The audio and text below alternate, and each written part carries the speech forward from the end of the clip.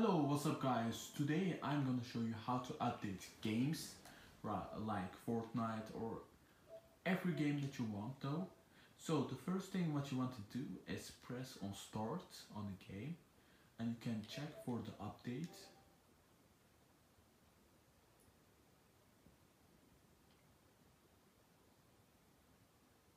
So this will just check if you have installed the latest version of the game and like you see guys I did. But uh, if there's like a update that you can't update what you want to do is go to settings.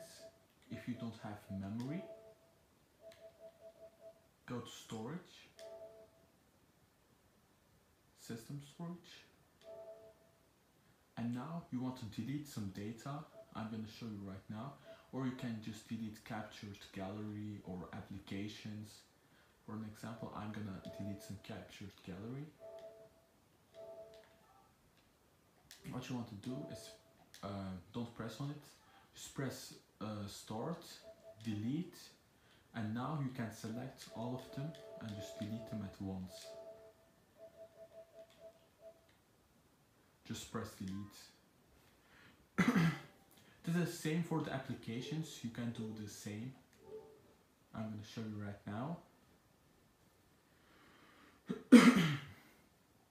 so, for an example, if you want to delete YouTube, you just want to press YouTube, um, start and then delete.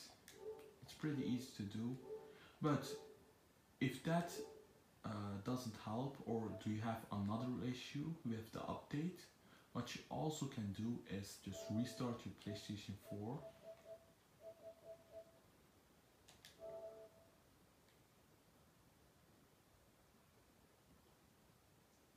So maybe this will help.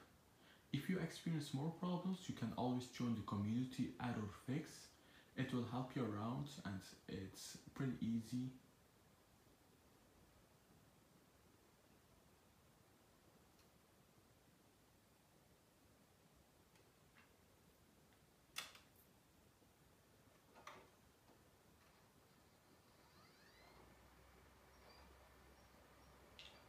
I'm gonna show you the community right now.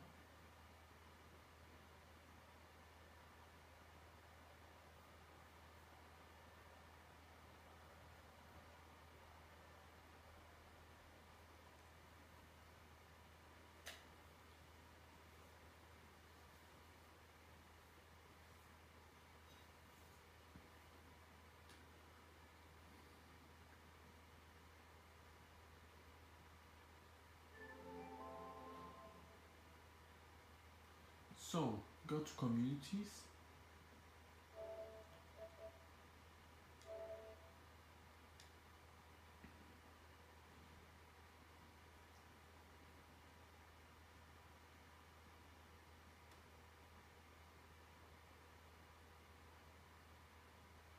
and you can join this community right here or Kiri.